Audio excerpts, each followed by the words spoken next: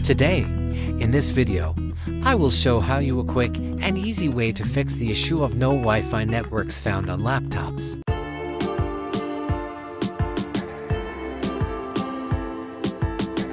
This problem can happen randomly, often due to a crash in the Wi-Fi adapter driver.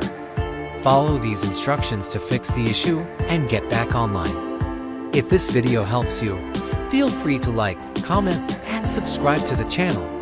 Let's get started.